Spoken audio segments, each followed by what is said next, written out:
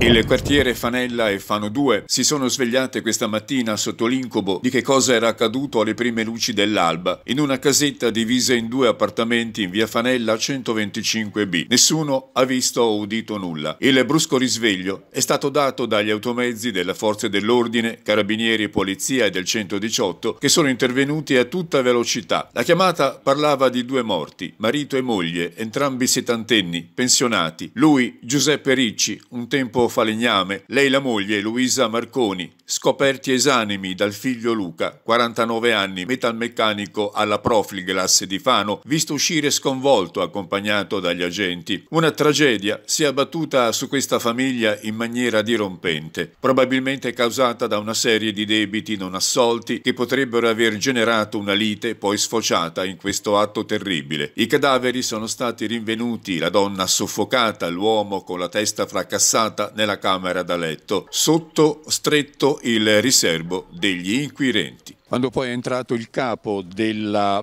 procura, il magistrato di turno, Maria Letizia Fucci, è intervenuta anche la polizia scientifica per fare i rilievi. Sembra che l'omicidio sia avvenuto, ancora non è chiaro se è avvenuto nel piano superiore o nel piano inferiore. Certo è che la scena che si è presentata agli inquirenti è veramente una scena devastante.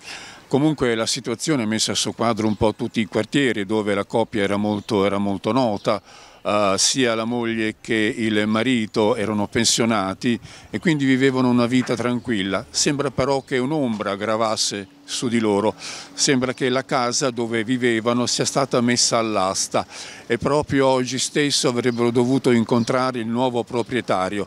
Comunque lo sfratto non era ancora uh, imminente, non si sa che cosa sia accaduto tra la coppia e il figlio, eh, oppure se un estraneo è entrato nella casa. Sconvolto anche tutto il vicinato, incredulo per quanto accaduto, le due vittime descritte come una coppia tranquilla, che aveva molte amicizie e che non aveva mai fatto trasparire i problemi in cui si dibatteva. Questa è la testimonianza di Mirko Barduagni e di altri vicini di casa. Il figlio della coppia che è deceduta è un amico mio, siamo cresciuti insieme, sono attaccato in casa. Io praticamente stamattina mi alzo sempre presto, mi sono svegliato 6 e tre quarti prendo il mio caffè.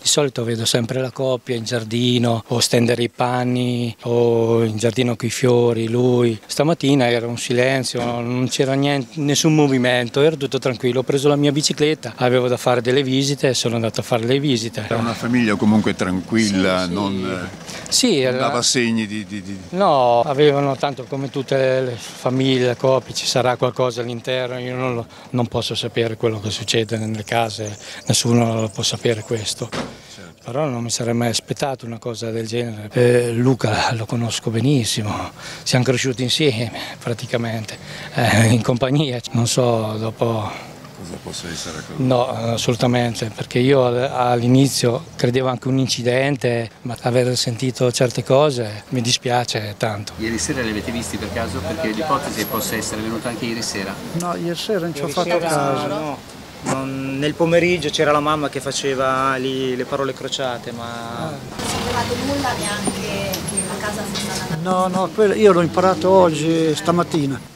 Non avete sentito urla questa notte, schiamazzi, nulla? Non abbiamo sentito niente noi.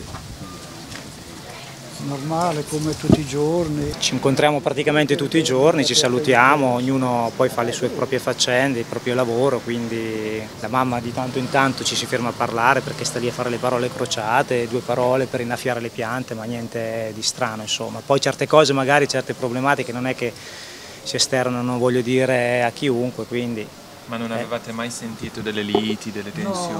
No. no.